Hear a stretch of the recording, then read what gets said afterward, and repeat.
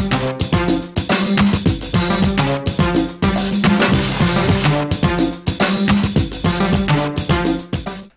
hello. Welcome to మన punching news. దేశంలో రాజకీయాలు ఏ కోణంలో వెళ్తున్నాయో నాకైతే అర్థం కావడంలే. అందరూ మంచి చేస్తున్నట్టే కనిపిస్తుంది. కానీ వంకరగా చూస్తే గాని అర్థం కావడంలే. మోడీ రైతు పక్షం అంటే కాదు తామే రైతు పక్షం అంటుంది ప్రతిపక్షం. ఇక చంద్రబాబు చైనా నుంచి వచ్చిన చందమామ మీద నుంచి దిగడంలే. కేసీఆర్ సరే సరి. హైదరాబాద్ని ఈయన కూడా అంతర్జాతీయ నగరం చేస్తానంట. మున్సిపాలిటీ ఎన్నికలకి స్కెచ్ గీస్తున్నాడు. ఇక అందరి మధ్య రైతుల్ని ముంచడానికే వచ్చిన వానలతో అన్నదాతలు రోడ్డు మీద పడ్డారు. మరి వాళ్ళని ఏ దేవుడు ఆదుకుంటాడో? ఇంతవరకైతే క్లారిటీ రాలా. రాహుల్ గాంధీ స్పీకింగ్ టాలెంట్తో పాటు వెంకయ్య సెటైర్లని ఇవాళ డీటెయిల్స్లో చూద్దాం. అంతకంటే ముందు హెడ్లైన్స్ ఒకసారి చూద్దాం. కేసీఆర్ చంద్రబాబుల యజన్ ఆకాశంలో అకాల వర్షాలతో మునిగిన రైతులు పాతాళంలో. మోడీ సూటు బూటుకి బొక్క అంటున్న రాహుల్ అసలు కాంగ్రెస్కి సిగ్గుందా అంట బీజేపీ సవాల్. ఏపీ రాజధాని ఎంపిక మీద శివరామకృష్ణన్ చెప్పిందే కరెస్ట్. చంద్రబాబు మనుషుల రియల్ ఎస్టేట్ గోల worst. Now news in details Chandrababu కట్టబోయే రాజధానిలో షాంఘై మెరుపులు సింగపూర్ రంగులతో పాటు జపాన్ టెక్నాలజీ కూడా ఉంటదంట. అన్ని దేశాల్ని ఒకే చోట చూపించే ప్రోగ్రాం పెట్టుకున్న బాబు సరికొత్త సినిమా చూపిస్తా అంటున్నాడు. చూడమా నా గురించి మీకు బాగా తెలుసు. మైక్రోసాఫ్ట్ హైదరాబాద్కి తీసుకొచ్చింది నేను. ఓల్డ్ మ్యాప్లో కరెక్ట్ లొకేషన్లో పెట్టింది కూడా నేనే. ఇప్పుడు మీరంతా నవ్వుకున్నా సరే బ్రహ్మాండమైన రాజధాని కడతాను. చైనాలో ఎలా రోడ్లున్నాయో అలానే వేస్తాను. సింగపూర్లో ఎలా పనిచేస్తారో అదే మాదిరిగా చేస్తాను తుళ్ళూరుని ఐదేళ్ళ తర్వాత చూస్తే అసలు ఇది మన తుళ్ళూరేనా అని మీరే షాక్ అవుతారు. ఆ మాదిరిగా మనం ముందుకు వెళ్తా ఉన్నాం. ఒక్క అడుగు కూడా ముందుకు పడకపోతే నువ్వు షాక్ అవుతావా గురు? హలో మామాజీ చంద్రబాబుకు క్యాపిటల్ తప్పితే ఇక ఏమీ కనిపించడం లేదు. ఆయనకి దూరదృష్టి లేదు. రాజధానికి బదులు అభివృద్ధి మీద దృష్టి పెడితే మంచిదే. మూడు పంటలు పండే భూముల్లోనే ఎందుకు క్యాపిటల్ పెడతా ఉన్నారో నాకు అర్థం కావడం లేదు.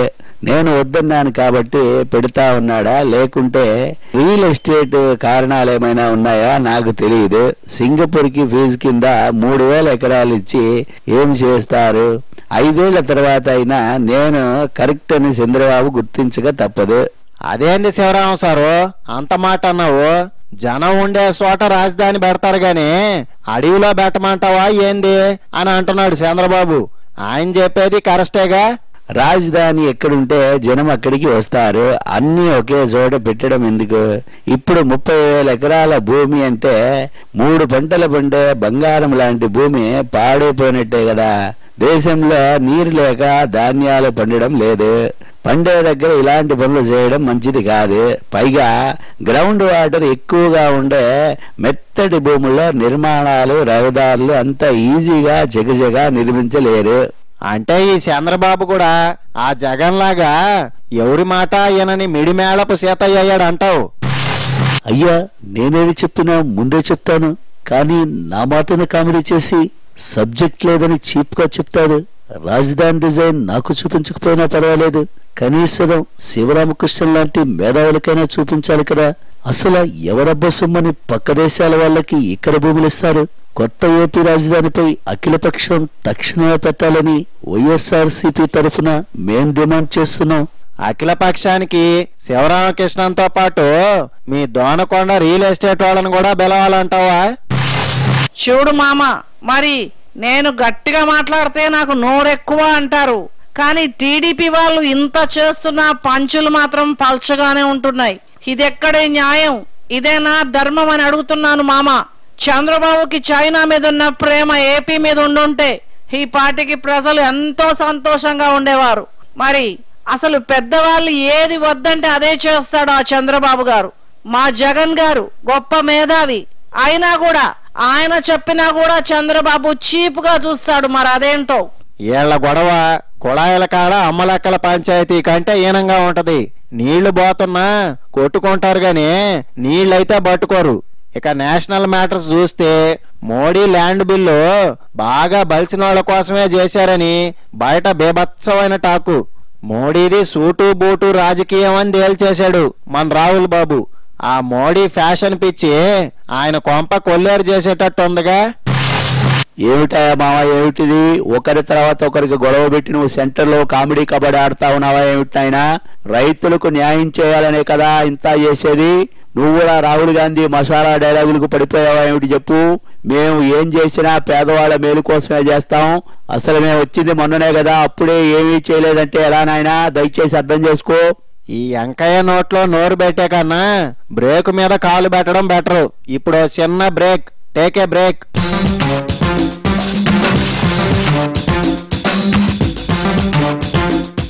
welcome back to my news my ఇష్టం. రాహుల్ గాంధీ కూడా పాదయాత్ర చేస్తాడంట. అది కూడా కరీంనగర్ నుంచి మొదలు పెడతాడని విహెచ్ తొడగొట్టి చెప్తున్నాడు. కేసీఆర్ రైతులకి సాయం చేయకపోగా స్టోరీలు చెప్తున్నాడంట. అరే ఏందయ్యా మామ? ఆయన ఏదో అన్నాడని నువ్వు గుడిక గట్లనట్టయింది నేను చేయట్లేదా?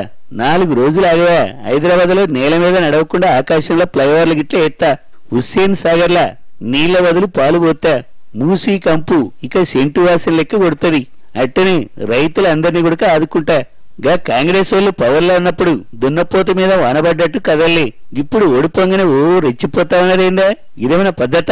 నువ్వు కూడా గాల్లో మేడలే తప్పితే ఇంకా ఏమీ చేయలేదా అంటున్నారు గురు. కనీసం నష్టపోయిన రైతుల్ని ఒక్కసారైనా బలకరిచ్చావా నీకు ప్లేనరీ మీద ఉన్న సోకు దేని మీద లేదని కాంగ్రెస్ వాళ్ళు అంటున్నారు. అదే అది కాదురా నానేగో చూడు మామ నువ్వు కామెడీ చేసినా గానీ మంచి మాటను అడిగినవురా బాబు. నా పాయింట్ ఏంటంటే ఎవరు ఏం చేయటం లేదు కాబట్టి మా రాహుల్ కరీంనగర్లో పాదయాత్ర గిట్లా చేస్తాడు. అట్లనే ఈ ప్రభుత్వాల కళ్ళు గిట్లా తెరిపిస్తాడు. నిన్న చూసినావు కదరా నాయన మా యువరాజు సూతు బూతు అని మాట్లాడితే పార్లమెంట్ మొత్తం షేక్ అయింది. ఏమి షేకో ఏమో బీజేపీ వాళ్ళు అస్సలు పట్టించుకున్న దాఖలాలు లేవు. అయి పిటి రాహుల్ బాబు. What are you talking, Mamaji? మా రాహుల్ బేటాకి ఎంతో ఎంతో ట్రైనింగ్లు ఇచ్చి కామెడీలు నేర్పించి పంపాము. ఆల్ దీస్ డేస్ ఫారిన్ కంట్రీస్కి వెళ్ళి హౌ టు టాక్ ఎఫెక్టివ్లీ అని ఒక క్రాష్ కోర్స్ చేసి వచ్చాడు రాహుల్ బాబు. ఇప్పుడు బాగా సెటైర్స్ పంచెస్ వేచున్నాడు కూడా. ఇంకొకసారి లాంగ్ టూర్ వెళ్ళి వచ్చాడంటే ఇంకాను బాగుగా మాట్లాడుతాడు. For example yesterday without anybody's prompting or help Modi సర్కార్ని Rahul Babu ఎంతో బాగా వాష్ చేశాడు. మీ రాహుల్ బాబుకి పార్లమెంట్లో నిలబెట్టి ప్రాక్టికల్ ట్రైనింగ్ ఇచ్చినా ఇంకా నత్తి నత్తి కామెడీయే చేస్తున్నాడు. కొద్దిగా నాలాంటి తెలివైన వాళ్ళని ట్యూటర్గా పెట్టు. ఈడ ఫారెన్ ట్యూషన్లు నడవవు. మా ఎంకయ్యం చూడు కామెడీ డైలాగులు వదిలితే పొట్నాలు రాలినట్టే రాలుతాయి. వణక్కమప్ప మామ. కోర్టు వారు పిలిచినట్టు నన్ను కూడా పేరుతో నీవుదా పిలుస్తూ అని ఇంతసేపు వెయిట్ చేశాను. నీవు నన్నుదా పట్టించుకోకపోతే నేనే సరాసరి లైవ్లోకి వచ్చేశాను. చూడు మామ నాకుదా బెయిల్ ఎక్స్టెండ్ అయి పొడిచింది. ప్రశాంతంగానే ఉన్నా మా కూలీలనుదా కాల్చి పొడిచినారే. చూడు నన్ను ఏదో ఒకటిదా చేసేయాలా అని వీల్ చైర్ కరుణానిధి వాడు పోరుదా పెడుతున్నాడప్ప. ఆ శేషాచలము గొడవదా సమస్య పోతే నాకుదా బెయిల్ లైఫ్ టైం వచ్చినంతగా హాయిగా ఉండును. అవును జయక్కాయ్ ఈడ కొత్తిమీర చేను మీద పడ్డట్టు ఎర్ర చందనం దొంగల మీద పడ్డారేంది మీ ఓళ్ళు? ఏడ చూసినా మీ అరం వాసనేనంట. మీ ఫారెస్ట్లు బాగుండాలి గాని ఈడేమో ఎర్ర చందనం చేను లూటీ కావాలా ఏంది? ఇప్పటికే కాప్స్ పెద్ద తలకాయల్ని పట్టుకున్నారంట. సరే మై డియర్ వ్యూవర్స్ ఇది ఇయాల్టి నా వార్తలో నా ఇష్టం. Keep watching NTV bye